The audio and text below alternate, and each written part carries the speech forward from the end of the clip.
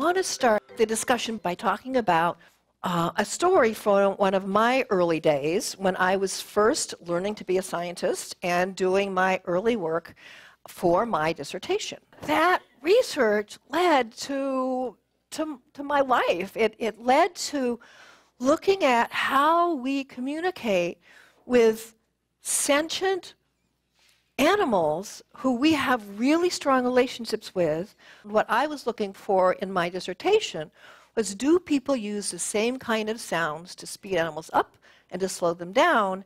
And do they do it because they work inherently? Or do they do it just because we learned to do it through sort of cultural transmission? You know, your mother taught you to do that. And, and so I had recorded whistles of sheepdog handlers. And two of them were, no matter who I recorded and what dog they were talking to, they were very similar. The speed up whistles were all short, rapidly repeated notes. Walk up, walk up, get up, walk up. And the slow or, or stop whistles were all a single note, and, and often they were long and descending, like, whoa, easy. And I was actually sitting on a little Arabian horse, and he was prancing too much. And I was like, whoa. And I realized that's, that looks on a sonogram or a picture of sound just like the whistles that people use to stop their border collies. I was like, well, that's interesting. Oh. So I, my horse stopped, and so I did what I was taught to do. What do you do to get a horse to walk forward? Right? Which is exactly structurally like to get a border collie to start moving up and increasing motor activity and moving the sheep forward. And, and I literally, it was one of those moments in science that we are all feel privileged to get. One of the most exciting thing about science is an opportunity to discover something. And I felt like I'd made a discovery. It was like there was this universal structure that we all sort of knew, but nobody had really looked at it in terms of animal communication. There does seem to be, if you look at all these different fields, universal responses in training they call it to, to certain kinds of sound short repeated notes tend to speed up activity. So if you're if you're trying to stop your dog is the best thing to say stop stop stop stop stop.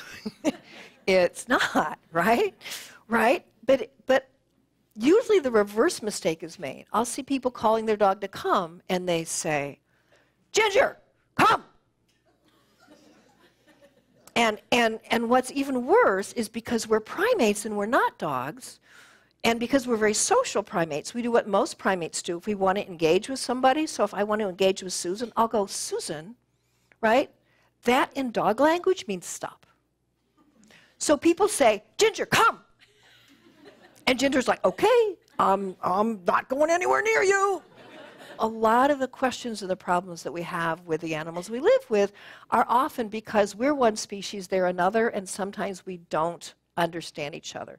And it's my argument, and I'm going to throw it out to you now, it's my argument that it's our, we're supposed to be the smart ones, right?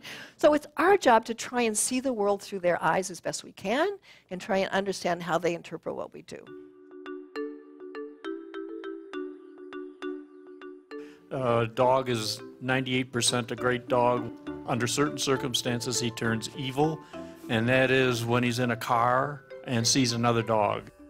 I think dogs become defensively aggressive in cars. They're trapped.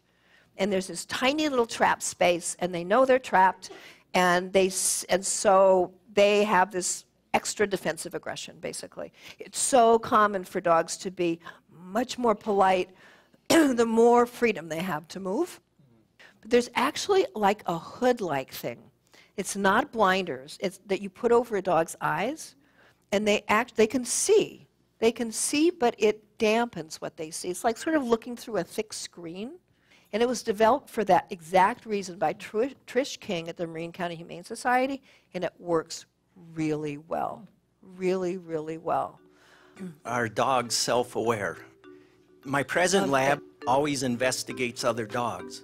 I don't own any full length mirrors in the house, and if I'm at a place where she encounters one, She doesn't investigate that dog.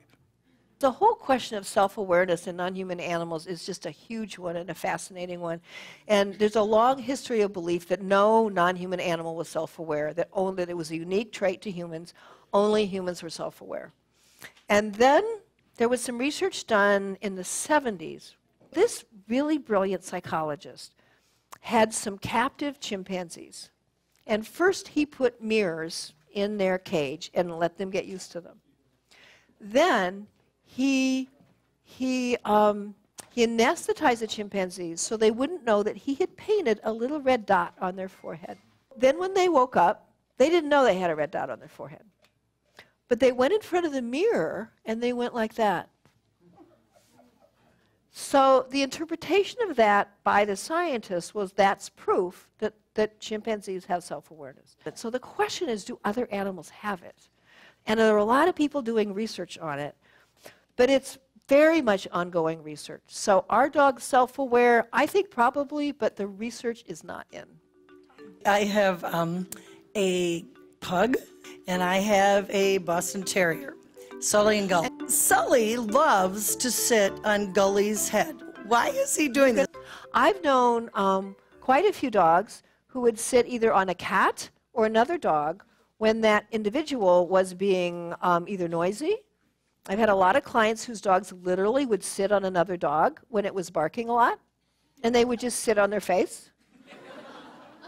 and, and I mean, the only possible interpretation is like, this is the only way I can shut you up.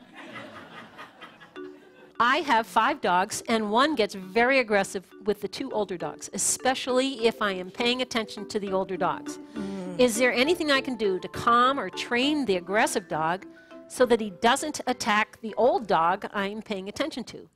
To that question, I have a booklet called Feeling Outnumbered that is all about either preventing or treating relatively mild to moderate cases of that, which is basically just teaching dogs that you get what you want by being patient and polite. You don't get what you want by throwing your weight around.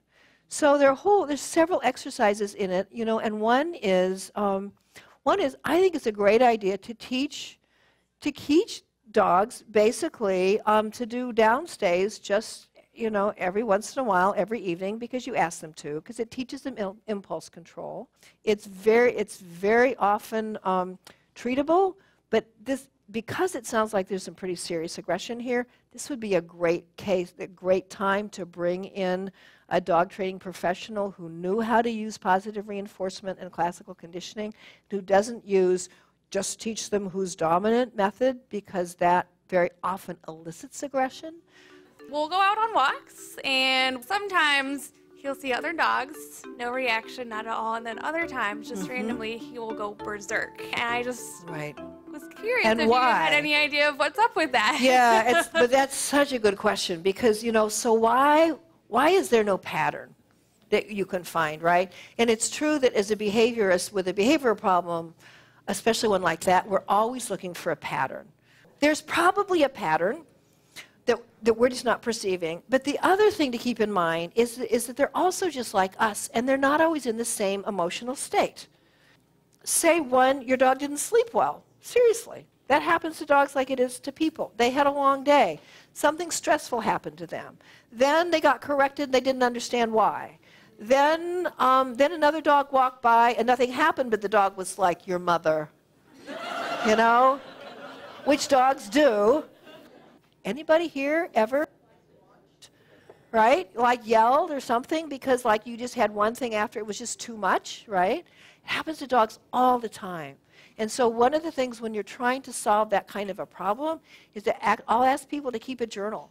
Is what happened that day. You know, it doesn't have to be a long, elaborate thing, but just keep track of what happened that day. And often you find patterns when you didn't think there were any. All right. Thank you so much. Thank oh, you, oh, yeah, Dr. thank Patricia you McConnell. Thank you.